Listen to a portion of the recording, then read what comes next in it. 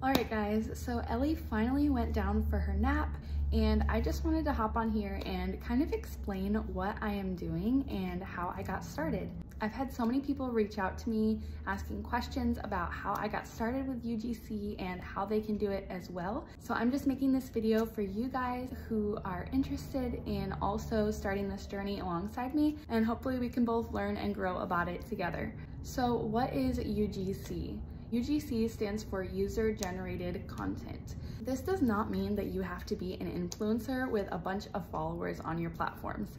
You can actually do this job without having any followers whatsoever, which was really intriguing for me to find out because I was a little discouraged by all the people out there posting these videos on their platforms, getting a bunch of views, selling a bunch of product. I thought that that was the path that I needed to take as well. But actually this content that you are making, the videos you're making, the photography, you are giving that content to the brands and they are going to use your content either on their socials or for running advertisements.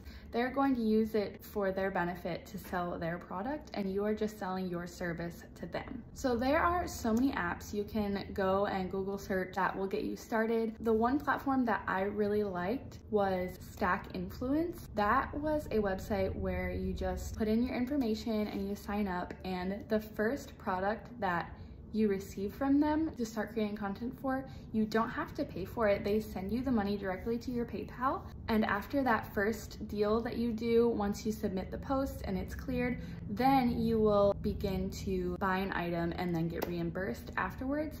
And this platform I'm only using because right now I am building my portfolio. The biggest thing that you need to do to start becoming a UGC creator is to build your portfolio because once you have all of your examples of your work and what you can do, then you can attach that link to your DMs, to your emails that you're sending when you start reaching out to brands. I have not entered this stage yet. I'm still in the stage of building my portfolio and getting practice making content. I have had a few brands reach out to me and want to gift me product to make content for or just to simply leave a review and test out the product. This is because I started posting my content on my socials just because I want to share and there is a possibility of growth and gaining a platform when you are posting this content that you are making, but that is not my goal. My goal is ultimately to receive contracts from brands and work for them long term because that is the biggest way to earn doing UGC.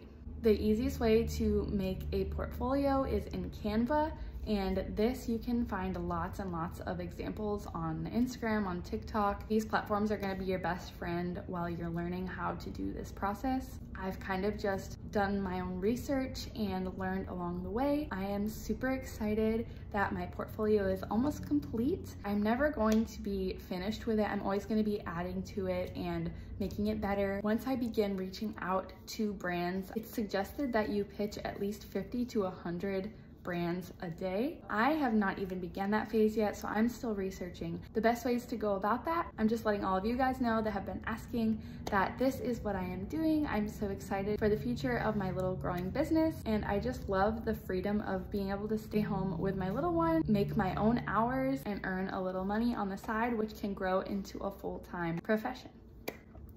If you guys have any more questions about what I'm doing or how you can also start being a UGC creator, then definitely leave them in the comments or reach out to me directly and I'd love to help you along the way. This has been so fun already getting to show my creativity and turn it into a little hobby. Hope you guys benefited from this video today and thanks for watching.